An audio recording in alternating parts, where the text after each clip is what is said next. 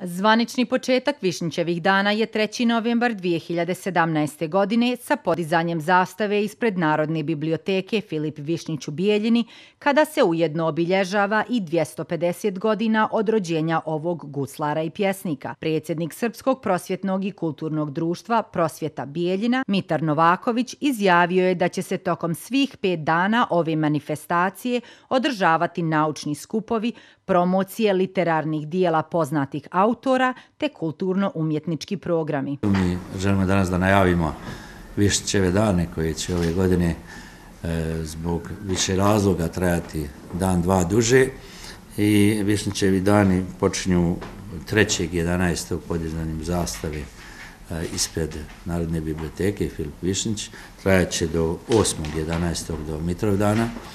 E, razlog zašto je to ove godine pet, e, pet dana i zašto imamo puno sadržaja je zato što je to 250 godina od rođenja Filipa Višnića. U okviru manifestacije planirani su naučni skupovi, osmi susret mladih pjesnika na Filipovim stazama, promocija knjige Vukovi pjevači iz Bosne i Hercegovine, autora Ljubomira Zukovića i Jeline Đurković, takmičenje besjednika i recitatora osnovnih, srednjih škola i fakulteta. U 19 sati je Svečana akademija u Velikoj sali Centra za kulturu, gdje će horovi, mali i veliki hor, Srbadija, Novi vidjeli ste, su i ovog puta osvojili značajne nagrade. Oni će da otvore tu svečanu akademiju.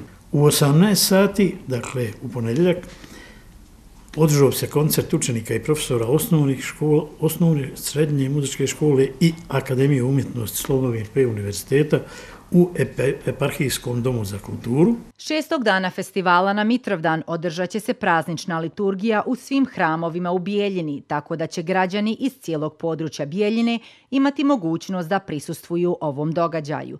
Višnjićevi dani bit će zatvoreni 8. novembra spuštanjem zastave ove manifestacije, a tome će prethoditi guslarsko veče u velikoj sali Centra za kulturu Semberija.